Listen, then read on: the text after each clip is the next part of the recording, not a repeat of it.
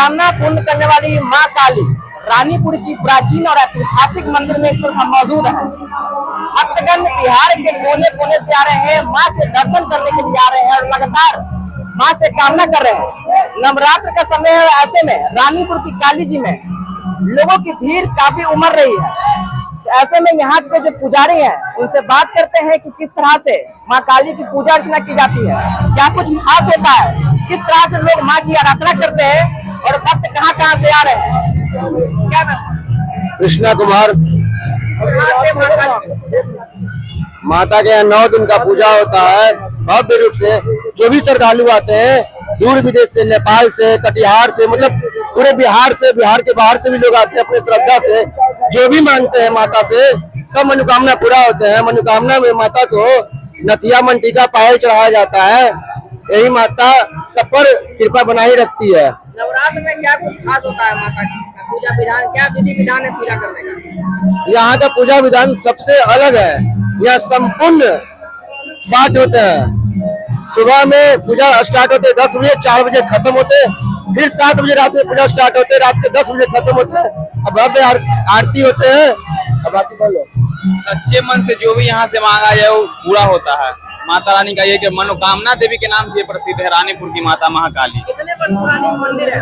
कम से कम 200 वर्ष ये पुरानी पर, पर, परंपरा चली आ रही है। यहाँ पे जो भी भक्त आते हैं सच्चे मन से मांगते हैं उनकी इच्छा अवश्य पूरी होती है। खाली यहाँ कोई भी नहीं जाता है। सबकी मनोकामना पूर्ण होती है।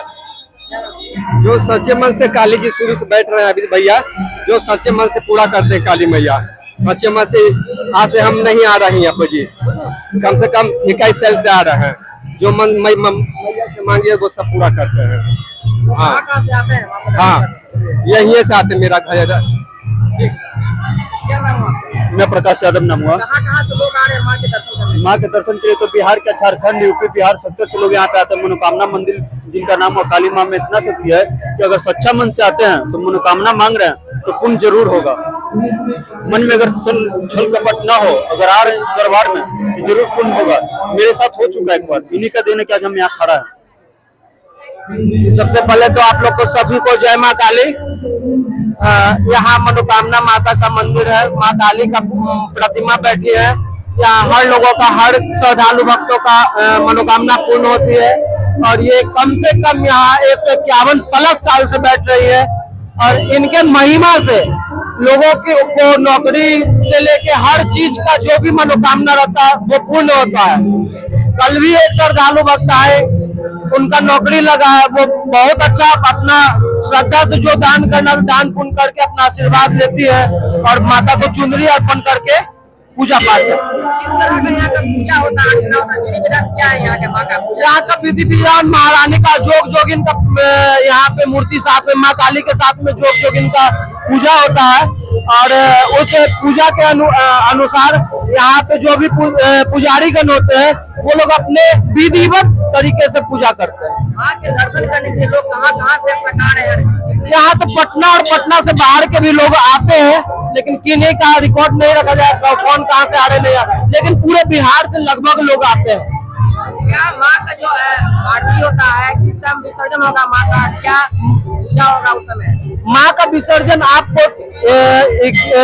दशमी को बारह बजे रात में रानीपुर से हाथ पे निकलती है और चौक होते हुए पचनवजा होते हुए, गाय घाट के लिए ग्यारहवीं को शाम में चार बजे तक विसर्जन होती है। जो लोग जैसी भी भावना से आते हैं, माँ काली उनकी मनोकामना पूर्ण करती है।